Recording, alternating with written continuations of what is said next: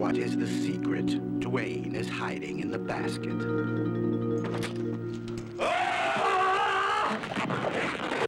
What's in the basket? Some of the tenants claim to have heard noises coming from this room. Like someone on a rampage. What's in the basket?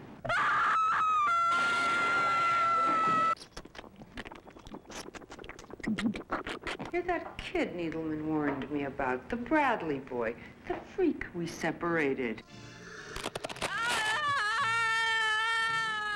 I know an awful lot of guys, Duane. But you're different. What's in the basket? What's in the basket? What's in the basket? My brother. Open it, if you dare. Basket case.